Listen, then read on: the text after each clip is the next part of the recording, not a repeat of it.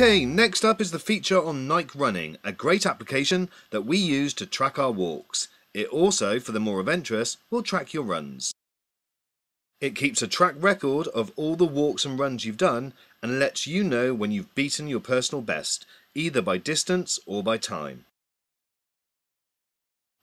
It has many great features, including a calorie burner estimate, GPS maps so you can track the area you've covered, and motivational encouragement when reaching milestones like distance and speed.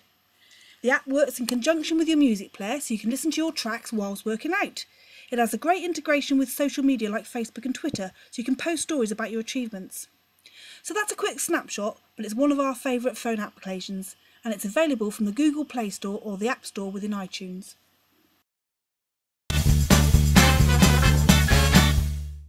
Okay, that's just about it for this week, but please subscribe to our YouTube channel and you can also follow us on Twitter at thefive2diet and like us on Facebook.